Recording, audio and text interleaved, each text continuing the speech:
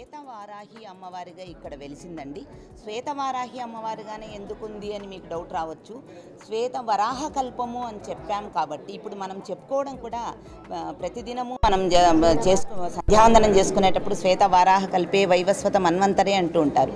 శ్వేత వారాహము ఆ వారాహి అమ్మవారిని ఈ కల్పము శ్వేత వారాహ వరాహ కల్పం కాబట్టి వారాహి అమ్మవారిని శ్వేత వారాహిగా ఇక్కడ ప్రతిష్ఠించడం జరిగింది. ఈ అమ్మవారికి ఎన్నో అద్భుతమైన మహిమలు ఉన్నాయని చెప్పవచ్చు. ఇంతవరకు కాశీలో మీరు వారాహి అమ్మవారిని చూసినట్టయితే మనం ప్రత్యక్షంగా అమ్మవారిని పూర్తిగా మీరు మూర్తిని దర్శించుకోలేరు. ఎందుకు అంటే అక్కడ శిరస్సు భాగం ఒకవైపు కాలి భాగం ఒకవైపు. ముఖ్యంగా ఇంకొక ముఖ్య విశేషం ఏం చెప్పాలి అంటే వారాహి అమ్మవారు ఎక్కడున్నా కూడా క్షేత్రపాలికగా కూడా వ్యవహరిస్తారండి వారు. కాశీలో అమ్మవారు క్షేత్రపాలిక వారే. వారాహి అమ్మవారి. అందువల్ల కాశీలో అమ్మవారు ఏం చేస్తుంది? నైట్ అంతా ఆమె రాత్రంతా జాగరణ చేసి కాశీ క్షేత్రాన్ని కాపాడుకుంటూ పగలు మాత్రం ఆమె రెస్ట్ తీసుకుంటారు. అందువల్ల మీరు కాశీలో వెళ్తే పగలు అమ్మవారిని చూడనివ్వరు అసలు.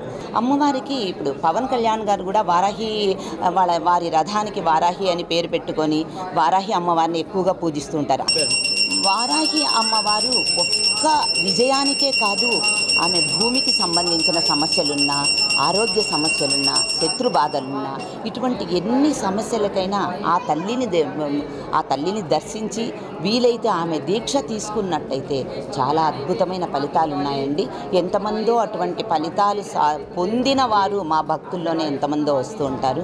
ప్రతిరోజు అనునిత్యము ఇక్కడ అన్నదానం జరుగుతుంది. భక్తులందరూ కూడా వచ్చి అమ్మవార్లను దర్శించుకొని తీర్థప్రసాదాలను స్వీకరించి అన్నదానం తీసుకొని వెళ్తారండి. అన్న ప్రసాదాన్ని కూడా మేము అనునిత్యం ఇక్కడ పెడుతూ ఉంటాం. నిత్య అన్నదానం జరుగుతుంది ఇక్కడ. ఇది మా పీఠ ప్రత్యేకత.